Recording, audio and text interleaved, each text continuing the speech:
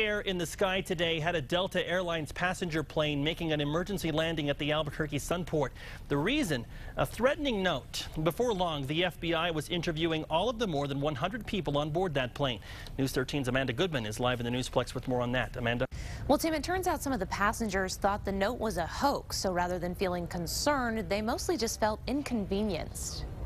On the flight and halfway through, they uh, made an announcement that they had found a note in the lavatory um, stating some kind of threat. They didn't really specify what was in the note. That discovery had the pilots of Delta Airlines Flight 1706 from Detroit to San Diego worried.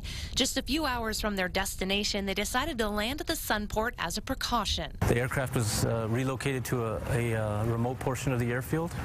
Uh, FBI was called and they conducted their investigation. As the FBI, TSA, and local authorities jumped into action, the passengers jumped on their phones, uploading photos and messages to social media sites like Twitter.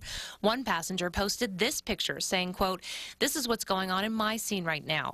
That passenger's sister spoke with our affiliate in San Diego, telling them she felt like the whole thing was a prank. There were probably maybe a couple of people that uh, were scared, but the general consensus on the plane was, why did this stupid idiot make a note?